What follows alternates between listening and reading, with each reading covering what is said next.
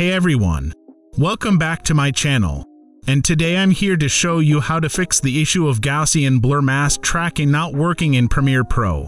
This issue can be frustrating, but don't worry because I'm here to help.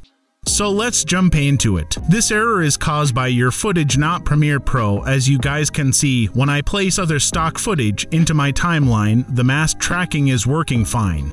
So this means there is something wrong with our footage. This can be easily fixed by converting the format of our video.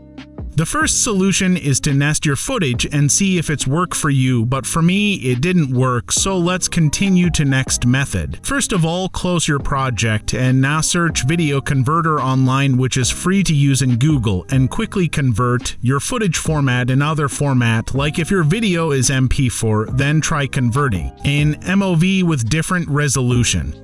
After that it will fix the problem. Let's see if it is working or not and as you can guys can see the Gaussian blur mask tracking in Premiere Pro is now working fine without any errors. I hope this video has been helpful for you and please feel free to leave any questions or comments down below if there's anything else that I can help with. Thanks again for watching everyone. Don't forget to like this video if it was helpful for you and subscribe for more videos like this one every week. Until next time, take care everyone.